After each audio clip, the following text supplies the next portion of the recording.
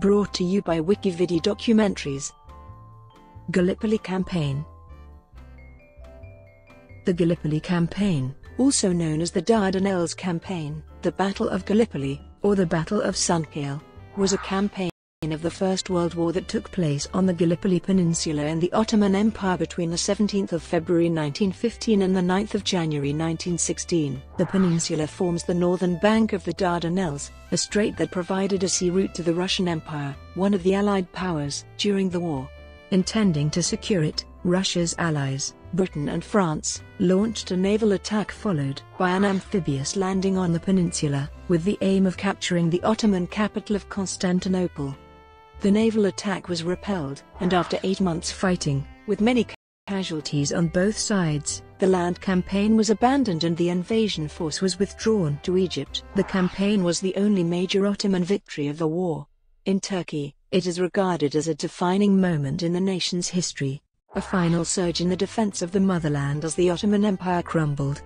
The struggle formed the basis for the Turkish War of Independence and the declaration of the Republic of Turkey eight years later, with Mustafa Kemal as president, who rose to prominence as a commander at Gallipoli.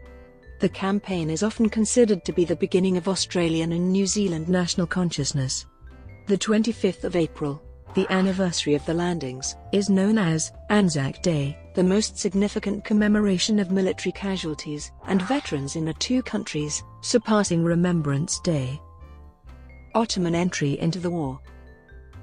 At the beginning of the 20th century, the Ottoman Empire had the reputation of being the sick man of Europe, following a century of slow decline, weakened by political instability, military defeat, civil strife and uprisings by national minorities. In 1908, a group of young officers, known as the Young Turks, seized power in Constantinople. Sultan Mehmed V was installed as a figurehead in 1909. The new regime implemented a program of reform to modernize the outdated political and economic system and to redefine the racial character of the empire. Germany, an enthusiastic supporter, provided significant investment. German diplomats gained influence and German officers assisted in training and re-equipping the army. Despite Britain being the predominant power in the region, the economic resources of the Ottoman Empire were depleted by the cost of the Balkan Wars of 1912 and 1913 and the French, British and Germans had offered financial aid. A pro-German faction influenced by Enver Pasha, the former Ottoman military attaché in Berlin, opposed the pro-British majority in the Ottoman cabinet and tried to secure closer relations with Germany. In December 1913, the Germans sent a military mission to Constantinople, headed by General Otto Liman von Sanders. The geographical position of the Ottoman Empire meant that Russia, France, and Britain had a significant interest in Turkish neutrality in the event of war in Europe. During the Sarajevo crisis in 1914, German diplomats offered Turkey an anti-Russian alliance and territorial gains in Caucasia, northwest Iran and Transcaspia. The pro-British faction in the cabinet was isolated due to the British ambassador taking leave until 18 August. As the crisis deepened in Europe, Ottoman policy was to obtain a guarantee of territorial integrity and potential advantages, unaware that the British might enter a European war. On the 30th of July 1914, two days after the outbreak of the war in Europe, the Ottoman leaders agreed to form a secret Ottoman-German alliance against Russia, although it did not require them to undertake military action.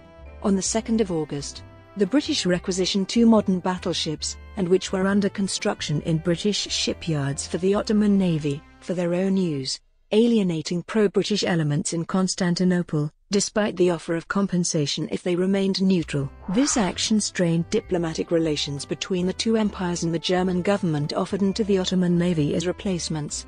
In an attempt to gain influence, the Allies tried to intercept the ships, which escaped when the Ottoman government opened the Dardanelles to allow them passage to Constantinople, despite being required under international law.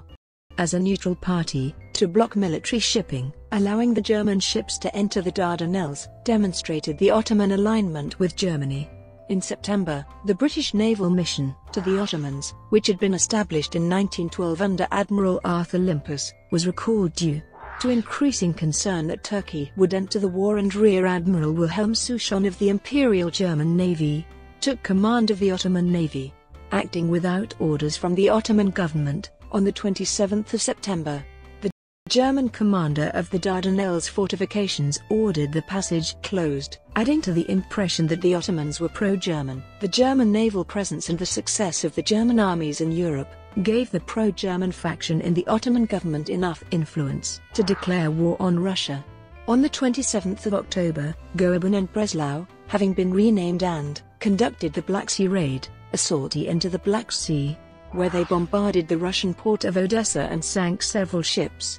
The Ottomans refused an Allied demand that they expel the German missions, and on the 31st of October 1914, formally entered the war on the side of the Central Powers.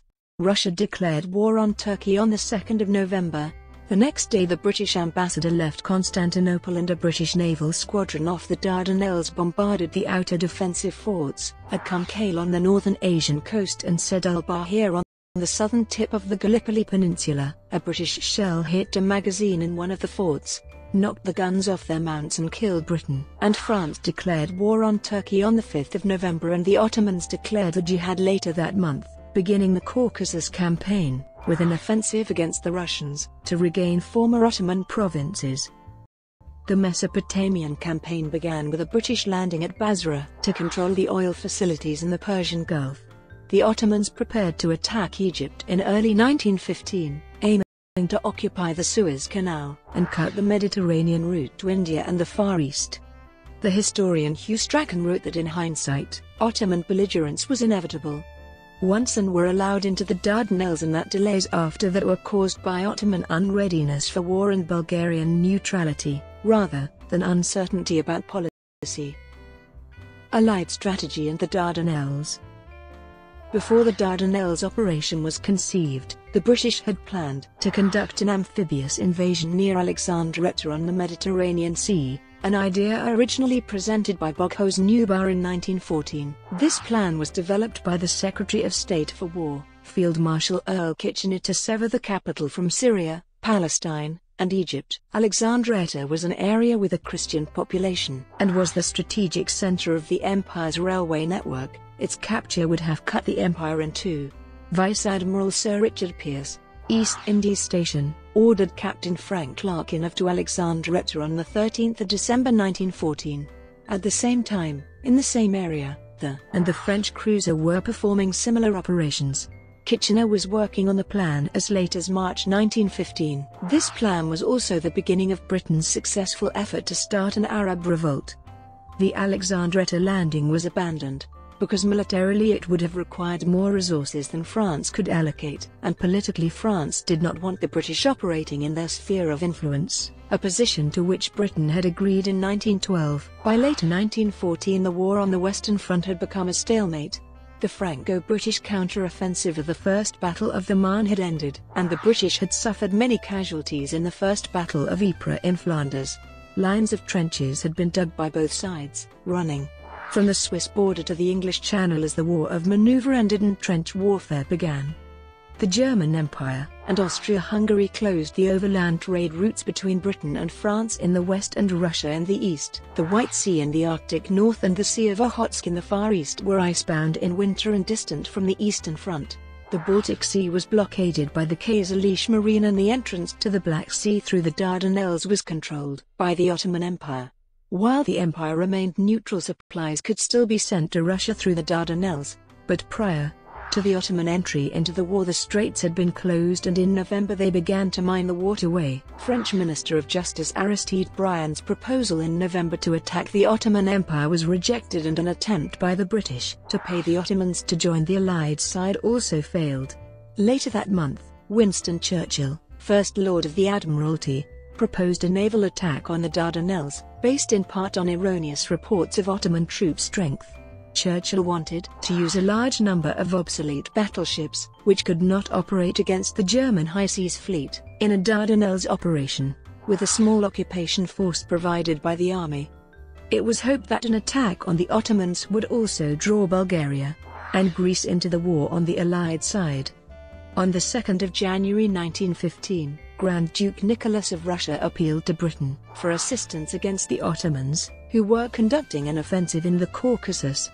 planning began for a naval demonstration in the Dardanelles to divert troops from the Caucasian theater of operations. Attempt to force the Straits On the 17th of February 1915, a British seaplane from flew a reconnaissance sortie over the Straits.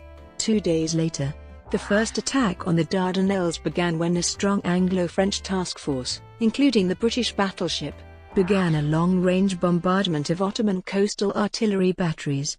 The British had intended to use eight aircraft from Ark Royal to spot for the bombardment, but harsh conditions rendered all but one of these, a short Type 136, unserviceable. A period of bad weather slowed the initial phase, but by the 25th of February the outer forts had been reduced and the entrance cleared of mines. After this, Royal Marines were landed to destroy guns at Kumkale and Sedd el Bahr, while the naval bombardment shifted to batteries between Kumkale and Kephez, frustrated by the mobility of the Ottoman batteries, which evaded the Allied bombardments and threatened the minesweepers sent to clear the straits. Churchill began pressuring the naval commander, Admiral Sackville Carden, to increase the fleet's efforts. Carden drew up fresh plans and on the 4th of March sent a cable to Churchill, stating that the fleet could expect to arrive in Constantinople within 14 days. A sense of impending victory was heightened by the interception of a German wireless message that revealed the Ottoman Dardanelles forts were running out of ammunition. When the message was relayed to Carden, it was agreed a main attack would be launched on or around the 17th of March. It transpired that Carden, suffering from stress, was placed on the sick list by the medical officer and command was taken over by Admiral John de Robeck, the 18th of March 1915. On the 18th of March 1915, the main attack was launched by the Allied fleet, comprising with an array of cruisers and destroyers, against the narrowest point of the Dardanelles, where the straits are one mile wide. Despite some damage to the Allied ships engaging the forts, from Ottoman return fire, minesweepers were ordered along the straits, According to the Ottoman official account, by 2 p.m., all telephone wires were cut, all communications with the forts were interrupted, some of the guns had been knocked out. In consequence the artillery fire of the defense had slackened considerably. The struck a mine, causing it to capsize with her crew of over minesweepers, manned by civilians, retreated under Ottoman artillery fire, leaving the minefields largely intact, and detonated mines and sank. Although there was confusion during the battle about the cause of the damage, some blamed torpedoes, sent to rescue the Irresistible, was damaged by an explosion and eventually sank. The French battleships and were also damaged. The ships had sailed through a new line of mines placed secretly by the Ottoman minelayer Nusret ten days before. The losses forced de Robeck to sound the general recall to protect what remained of his force.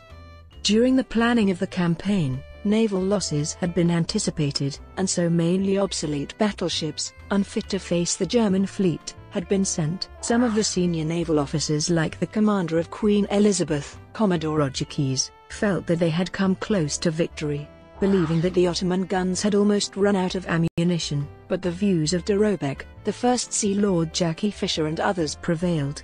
This ended Allied attempts to force the straits using naval power, due to unacceptable losses and bad weather. Planning to capture the Turkish defenses by land began and two Allied submarines tried to traverse the Dardanelles, but were lost to mines and the strong currents.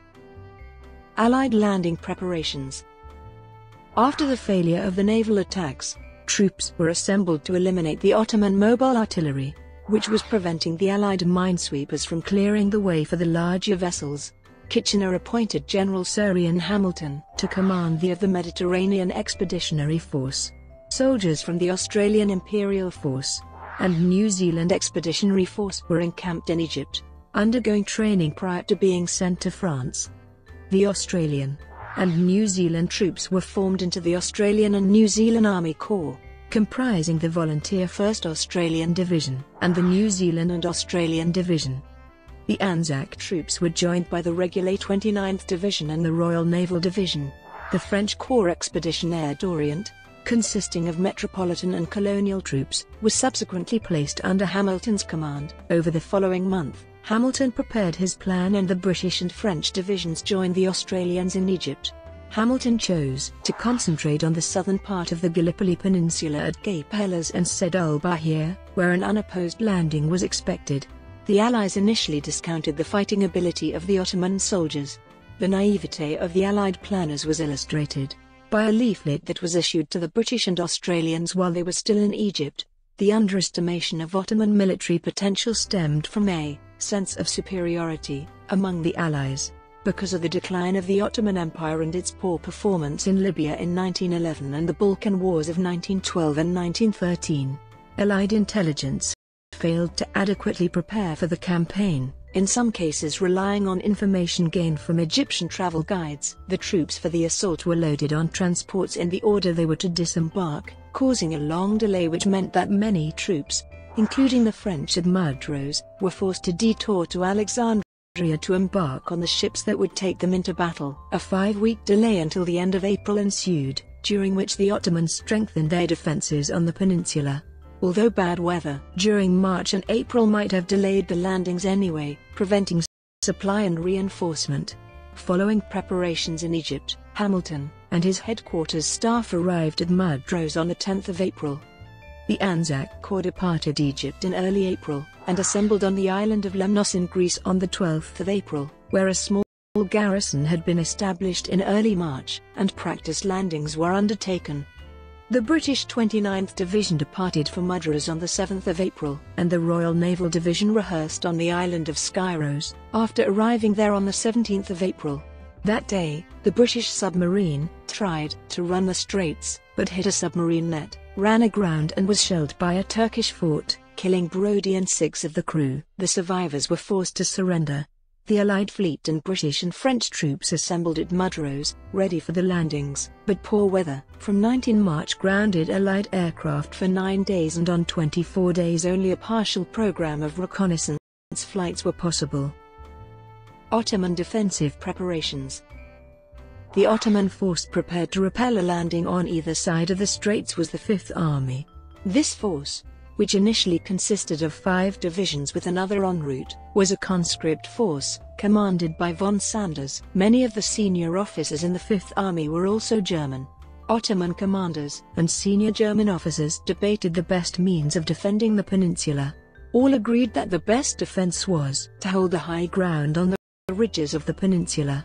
There was disagreement as to where the enemy would land and hence where to concentrate forces. Lieutenant Colonel Mustafa Kemal was familiar with the Gallipoli Peninsula from his operations against Bulgaria in the Balkan Wars and forecast that Cape Helles and Gaba Tepe were the likely areas for landing. Kemal believed that the British would use their naval power to command the land from every side at the tip of the peninsula. At Gaba Tepe, the short distance to the eastern coast meant that the Allies could easily reach the Narrows. Sanders considered Besika Bay on the Asiatic coast to be the most vulnerable to invasion, since the terrain was easier to cross and was convenient to attack the most important Ottoman batteries guarding the straits and a third of the Fifth Army was assembled there. Two divisions were concentrated at Bulair at the north end of the Gallipoli Peninsula to protect supply and communication lines to the defences further down the peninsula. The 19th Division and the 9th Division were placed along the Aegean coast and at Cape Helles on the tip of the peninsula. Sanders kept the bulk of the Ottoman forces inland in reserve, leaving a minimum of troops guarding the coast. The 3rd Division and a cavalry brigade arrived from Constantinople in early April, bringing the front line strength of the Ottomans up, to which Sanders concentrated in three groups. A maximum effort to improve land and sea communications was ordered to move reinforcements swiftly to danger points and troops moved at night to avoid Allied air reconnaissance. Sanders' strategy was opposed by Ottoman commanders, including Kemal, who believed that the defenders were too widely dispersed to defeat the invasion on the beaches. Sanders was certain that a rigid system of defense would fail and that the only hope of success lay in the mobility of the three groups particularly the 19th Division near Boghali, in general reserve, ready to move to Bulair, Gaba Tepe or the Asiatic shore. The time needed by the British to organize the landings meant that Sanders, Colonel Hans Kannengiesser and other German officers, supported by Three Corps Command Resat Pasha, had more time to prepare their defenses. Sanders later noted, the British allowed us four good weeks of respite for all this work before their great disembarkation.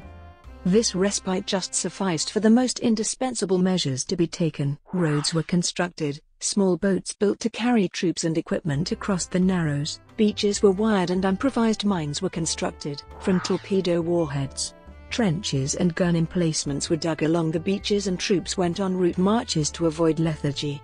Kemal, whose 19th Division was vital to the defensive scheme, observed the beaches and awaited signs of an invasion from his post at Boghali, near Maidos. The Ottomans created a small air force with German assistance and had four aircraft operating around Çanakkale in February, conducting reconnaissance and army cooperation sorties. From 11 April, an Ottoman aircraft made frequent flights over Mudros, keeping watch on the assembly of the British naval force and an airfield was established near Gallipoli. Brought to you by WikiVidi Documentaries. Would you like to know more?